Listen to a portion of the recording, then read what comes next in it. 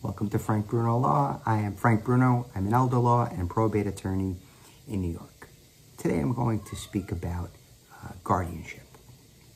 Before I get to that, please take a look at my website, Frank Bruno Law, or make an appointment, give me an email, frank at Frank Bruno Law.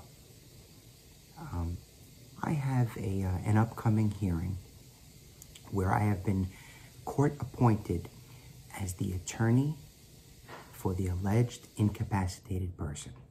So, in the area of Article 81 guardianship in Queens Supreme Court or any Supreme Court, there's an area under the mental hygiene law where one person can file a petition alleging, asserting that uh, this person that's an alleged incapacitated person doesn't have capacity.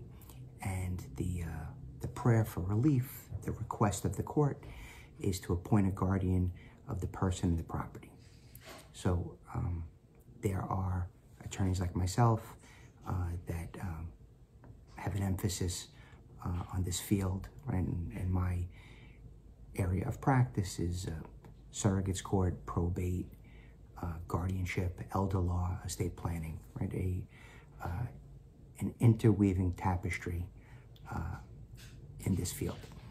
So I am on a list of attorneys to be court appointed to uh, represent that person um, that was alleged to have been incapacitated. So I've been already appointed to this person, and there's going to be a hearing tomorrow. Now the hearings, um, we are in the uh, the new era where we have Skype for business, virtual hearings. So there'll be uh, a court appearance. I'll be in my office.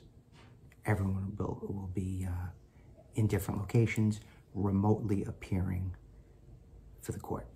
So later this week, I'll give you a follow-up on the, uh, the court appearance, but the wheels of justice grind slowly, but they're continuing to grind.